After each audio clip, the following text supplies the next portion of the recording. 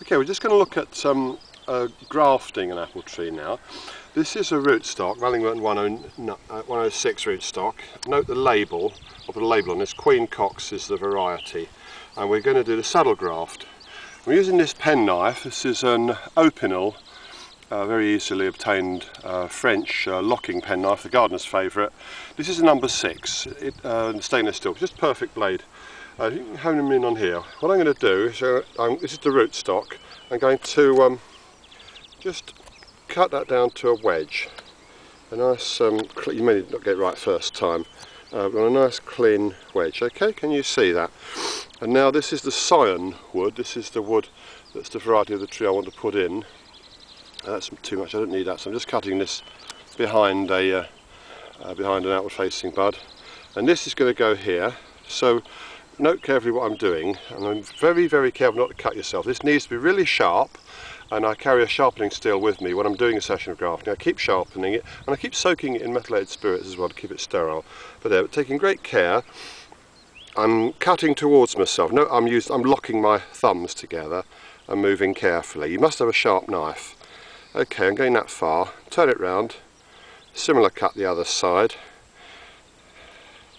you get uh, used to this after you've done a few of them. Okay, you see what I've got there. That should fit nicely onto here. And guess what? It does. I'm just going to um, shave a little bit more wood off of here to get a perfect fit. What you want is live wood to live wood. Okay, it's nearly ready.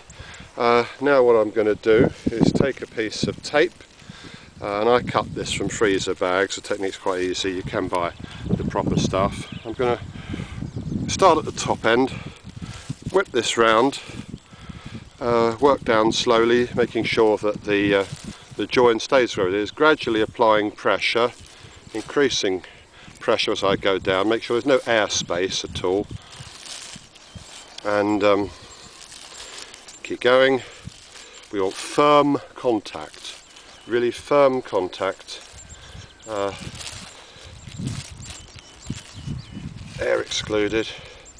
Okay, I'm just tightening this up a little bit more. Now there's a couple of half hitches, a few simple knots there, a couple of half hitches, and uh, okay, that's finished. Cut that off if you like. Show you. There we are. That's the label. Queen Cox, do make sure you label uh, your trees that you're going to graft, otherwise you will forget what variety they are and you will be sorry. And uh, I'll, uh, God willing, show you uh, this particular tree later in the year and hopefully it'll grow away nicely. That's the saddle graft, quick and easy. Uh, you will need to practice before you start doing it for real, but it's not really difficult.